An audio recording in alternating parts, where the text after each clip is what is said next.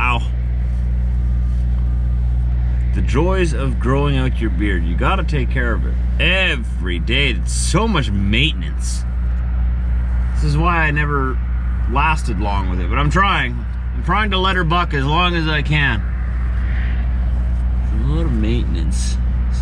It gets greasy real quick, gotta wash it all the time. Call. Anyways, that doesn't matter, you don't care. Hello, it's a new day. We're in Swift Current, Saskatchewan. We're headed home today, so it's an exciting day. I haven't been home since I spent all the money fixing this truck. And the truck's been running great, knock on wood. We've been actually getting way better fuel economy too. So obviously all these problems that were uh, plaguing my truck were affecting my fuel economy quite a bit. So we've been saving up to $20 a day in fuel, which is huge. That's $200 every 10 days. It's like $600 a month. I think that's about how much we've been saving. Because yeah, fuel's about a dollar a liter, and we're getting about uh, 15 to 20 liters per kilometer better. It's, it's a huge difference. Huge difference. It's not just the conditions, it's not just the loads I'm hauling.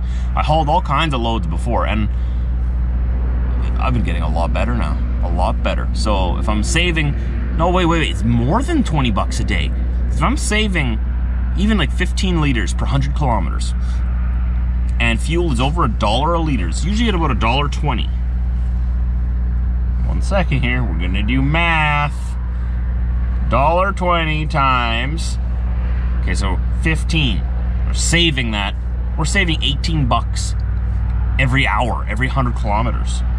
Let's say I drive a thousand kilometers in a day. Times that by 10.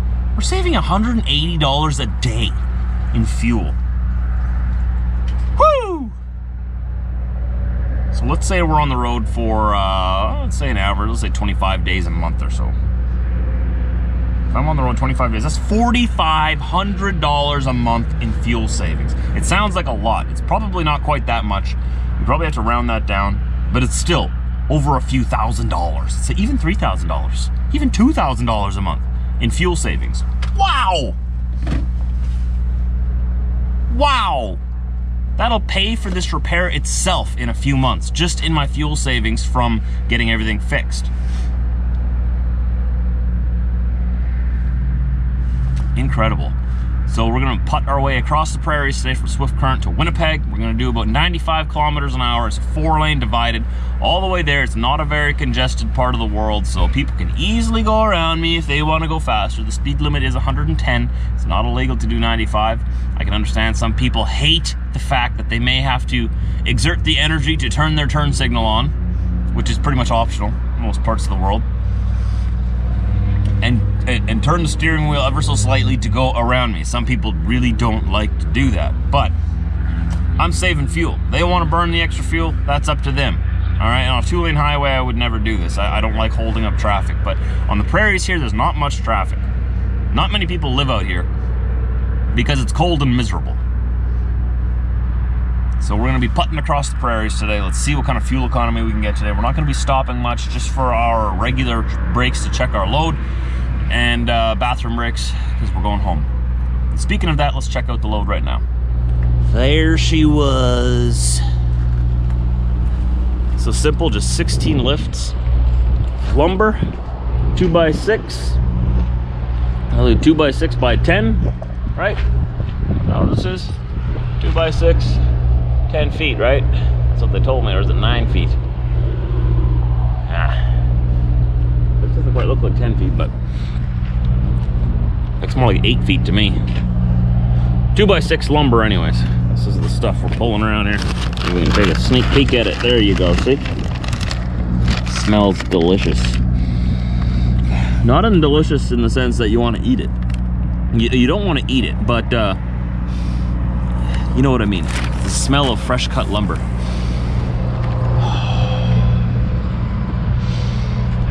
Makes you want to go and build something.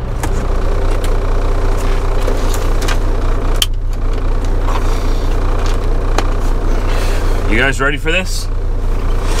Just buckling myself in so I don't fall out. It's gonna be wild. Okay. Put some air into the system so it releases my brakes. Turn the lights on.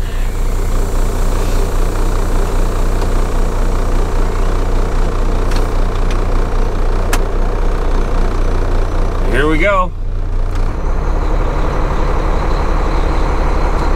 Tug our trailer a bit. Not gonna fall off. Good. Here we go.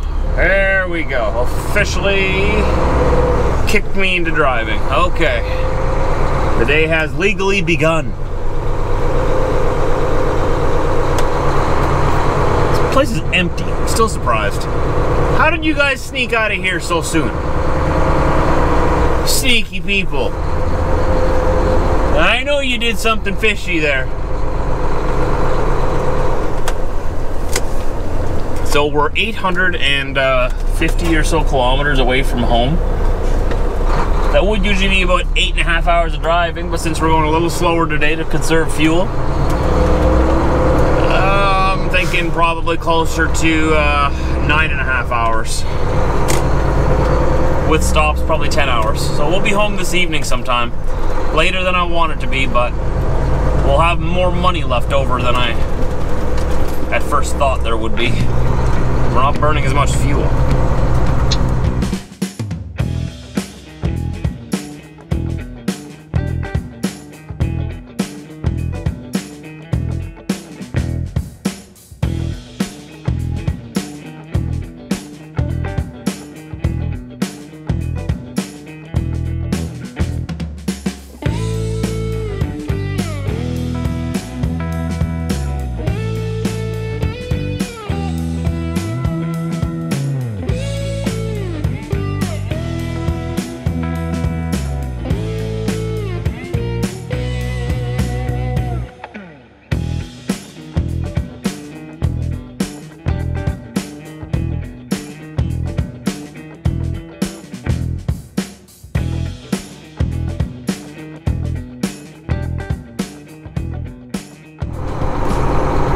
Are you gonna say it or am I? It's Balgonie Baloney. We're on the east side of Regina in Balgonie. And I'm not gonna grab fuel here because we have been rocking the fuel economy today and I don't need fuel right now. I'm gonna fuel in Winnipeg. But I do need fuel for my body. I do need coffee. That's the only thing we're stopping here. And a bathroom break. I may as well, let's be honest.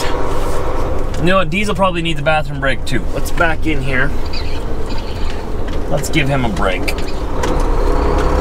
Where am I gonna back into? Where am I gonna back into? Nobody knows. Nobody, I don't even know.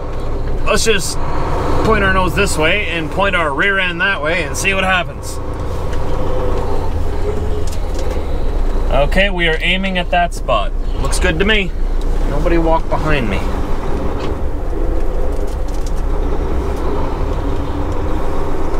Point our rear end that way, go a little further that way. There we go. Now I want to park with enough room so I can get Diesel's steps out on the passenger side.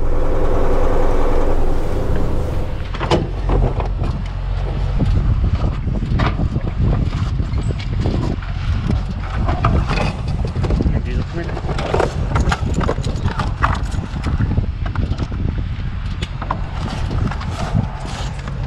Alright, on. Spoiled old man. She's still there. This load's been treating me real nice. Oh shoot, it's all mucky back here. That's springtime for you. But you know what, I'll take it. Diesel, leave that alone. Go on. Go on, leave the garbage. Dirty truckers, look at all this garbage back here along the fence. People disgust me.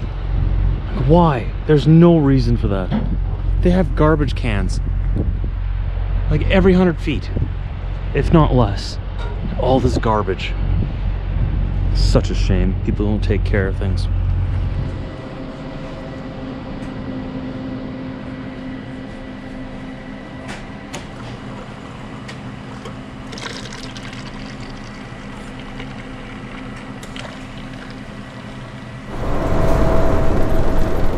Oh, or West Winnipeg here. And it was a great day for fuel economy until we hit about Portage La Prairie. And for some reason we got blasted with a strong wind from the south. Which is kind of bittersweet. It's bitter because it's ruining my fuel economy. But it's also sweet because it's coming from the south. So you know it's going to warm up in the next couple of days. So that's a good thing. I'm going to stop here for fuel in Headingley and uh, go drop the trailer in a secure yard and we'll head on home. We'll be home tonight and home for a 36 hour Canadian reset. So that means uh, I'll be going Sunday morning sometime. Seven, eight hour drive down to Minneapolis where we have to deliver Monday morning. And I want to be there first thing Monday morning. Like, I mean, bright and early. Crack of dawn. Because I want to get over to my reload, get reloaded, and get back home Monday night if possible. I, I, it's probably not going to happen, but I'd like to. I've spent so much time on the road this month. I'd like to sneak in a couple of extra nights at home wherever I can. It doesn't look like there's a big lineup for fuel today. That's good. In and out.